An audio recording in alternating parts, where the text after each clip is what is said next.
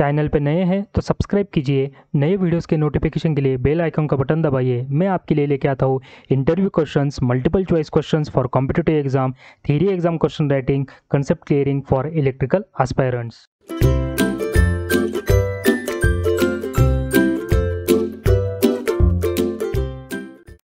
दोस्तों register opposes the flow of current ये हम सबको पता है। अगर अपोजिशन होता है तो इनकमिंग करंट और आउटगोइंग करंट डिफरेंट क्यों नहीं होते?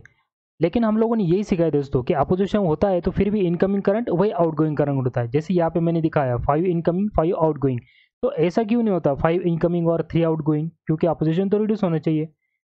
तो हेलो दोस्तों, मैं हूँ तुषार, स्वागत करता हूँ मेरी यूट्यूब चैनल इलेक्ट्रिकल ऊर्जा में।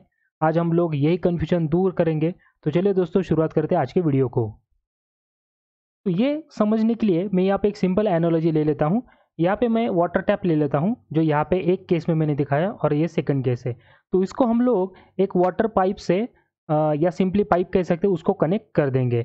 तो यहाँ पे मैंने एक पाइप लिया है और यहाँ पे एक पाइप लिया है। तो देखने में से पता चलता है दोस्तों कि पहले केस में इसका थिकनेस है वो बहुत ही ज़्यादा है और दूसरी केस में इसका थिकनेस बहुत कम है।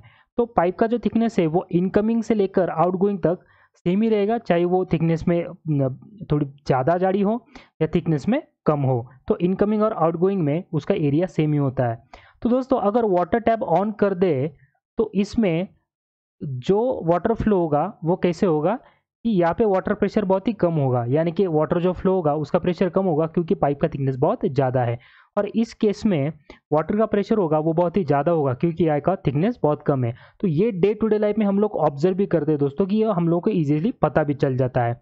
तो इसका मतलब क्या हो दोस्तों कि यहाँ पे मैं लिख सकता हूँ incoming water pressure is equal to outgoing water pressure इसका मतलब अगर वाटर टैप ऑन होता है और ये पाइप का थिकनेस इनकमिंग से लेकर आउटगोइंग तक सेम है, उसके कारण यहाँ से जो वाटर निकलेगा, उसका वाटर प्रेशर और यहाँ का जो वाटर प्रेशर होगा, वो सेम होगा, जो मैं यहाँ पे भी लिख सकता हूँ। तो incoming water pressure is equal to outgoing water pressure तो ये हो गया दोस्तों एक सिंपल सा एनोलॉजी अगर ये चीज़ आप समझ सकते हो तो अभी मैं आगे जो बताने वाला हूँ, वो बहुत ही ईजी है, वो आप लोग समझ जाओगे। तो यहाँ पे मैं एक सर्किट ले लेता हूँ।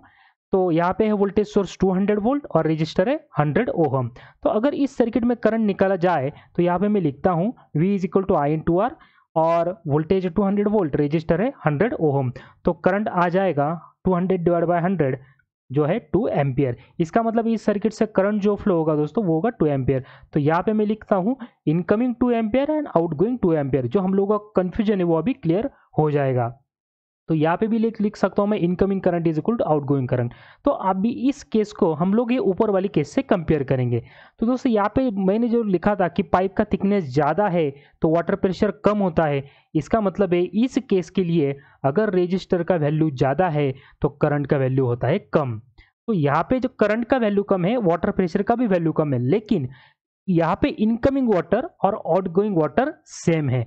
तो इसका मतलब है दोस्तों कि इनकमिंग करंट और आउटगोइंग करंट भी सेम होता है। तो यहाँ पे जैसे रजिस्टर का अपोजिशन यहाँ पे इस पाइप का जो थिकनेस है, उसका अपोजिशन होता है। और दोस्तों आपको पता है पाइप का थिकनेस यहाँ से लेकर यहाँ तक सेम होता है। तो उसके कारण ये जो रजिस्टर का वैल्यू है एक्चुअली यहाँ से लेकर यहाँ तक सेम ही होता है। क्योंकि ये जो इंटरनल रजिस्टेंस रहता है, उसका वैल्यू बहुत ही निग्लिजिबल होता है दोस्तों।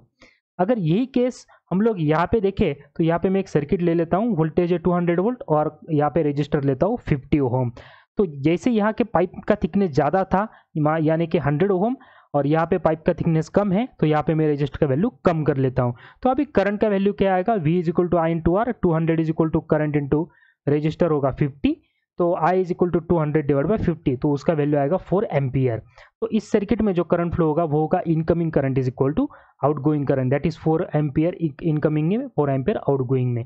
तो जैसे यहाँ पे पाइप का थिकनेस कम है, यानी कि ये रजिस्टर का वैल्यू क्या है दोस्तों? कम है. तो वाटर प्रेशर ज़्यादा होता है. इसका मतलब क्या होता है दोस्तों? पानी का प्रेशर ये करंट का जो वैल्यू होगा, वो भी ज़्यादा होगा. लेकिन फिर भी इनकमिंग का करंट और आउटगोइंग का करंट सेम ही होगा. जैसे यहाँ पे लिखा है मैंने incoming water pressure is equal to outgoing water pressure तो दोस्तों, इस केस से हम लोगों को इजीली पता चल जाता है और इजीली प्रूव भी हो जाता है दोस्तों कि इनकमिंग करंट जो होता है, वही आउटगोइंग करंट होता है। क्योंकि ये जो पाइप का थिकनेस है, वो वाटर टैप से इनलेट से लेकर आउटलेट तक सेम होता है। तो अगर मुझे इस आउटलेट पर ज़्यादा पानी चाहिए होगा दोस्तों तो मैं क्या करूँगा? इस वाटर के जो पाइप है, उसका थिकनेस यहाँ पे कम कर दूँगा। तो उसके कारण अगर मुझे करंट ज़्यादा चाहिए होगा तो मैं रजिस्टर का वैल्यू कम कर दूँगा। तो उसकी वजह से रजिस्टर करंट इंक्रीज और डिक्रीज हो जाता है। लेकिन ऐसा कभी नहीं होता कि इनकमिंग में टू एम्पेयर जैसे आया और में एक एम्पेयर चला गया दोस्तों, क्योंकि रजिस्टर में ऐसी कोई टेक्नोलॉजी नहीं है कि वो चार्ज को स्टोर कर दे और कुछ चार्ज जो बचा है वो आगे जाने दे। अगर इस पाइप को हम लोग वैसे ही कर दे, क्योंकि यहाँ से उसको शायद से हम लोग उसको मोड़ दे या कुछ उसको कम ज़्यादा कर दे कि पाइप जो आउटलेट होगा वाटर का वो कम ज़्यादा हो जाए तो ऐसा नहीं होगा दोस्तों, ये डैमेज हो जाएगा। यहाँ पे कोई वाटर स्टोर का टेक्नोलॉजी नहीं है, वैसे यहाँ पे कोई चार स्टोरेज का टेक्नोलॉजी भी नहीं है। तो ये उसका आंसर दोस्तों कि इनकमिंग करंट, रजिस्टर का वही होता है आउटगोइंग करंट। तो ये जो थंबनेल का जो मैंने यहाँ पे कंफ्यूज लिखा था, जो हम लोगों ने जो पढ़ा है दोस्तों, वही करेक्ट आंसर है। ये जो है अपोजिशन रिड्यूसेस यानी कि फाइव एम्पेयर इनकमिंग और थ्री एम्पेयर आउटगोइंग ऐसा नहीं होता दोस्तों। तो हमने जो पढ़ा है दोस्तों, वही सही है। तो वीडियो आपको पसंद आ गया तो लाइक कीजिए चैनल को सब्सक्राइब कीजिए और बेल आइकॉन का बटन दबाना ना भूलिए। मिलते हैं नेक्स्ट वीडियो में। Thanks for watching